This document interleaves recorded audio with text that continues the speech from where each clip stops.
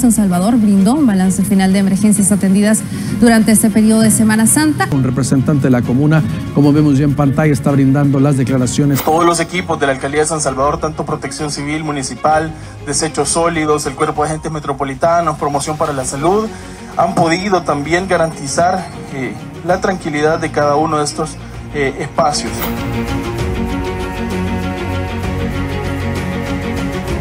Centro Histórico fue el segundo lugar más visitado por turistas nacionales y extranjeros durante las vacaciones de Semana Santa. Y cada una de las plazas del centro histórico se vuelven eh, de los puntos más importantes también a visitar por cada uno de los turistas nacionales y extranjeros.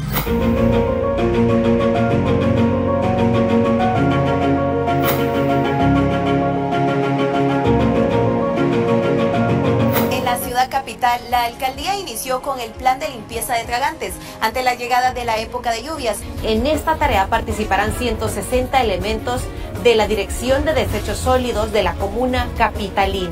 Son alrededor de 36.750 tragantes, pozos y tuberías dentro del municipio de San Salvador. La alcaldía de San Salvador está trabajando y tiene una dispensa de intereses moratorios. Esta iniciativa lo que viene es a favorecer a todos aquellos contribuyentes que son propietarios o responsables de un inmueble y que tienen mora en las tasas municipales para que puedan ponerse al día y pagarlas sin ningún tipo de recargo, sin intereses moratorios.